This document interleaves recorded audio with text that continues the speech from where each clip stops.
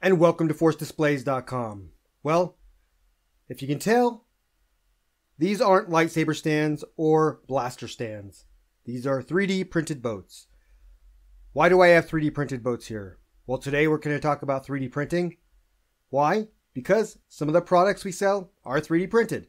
So let's get started.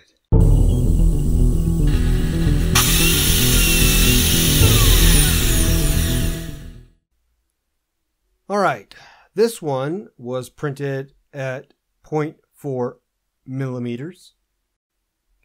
And this one was printed at 0.3 millimeters in layer height.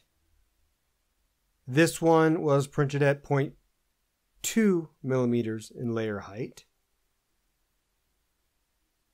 And this one is very fine quality, printed at 0.1 millimeters in layer height.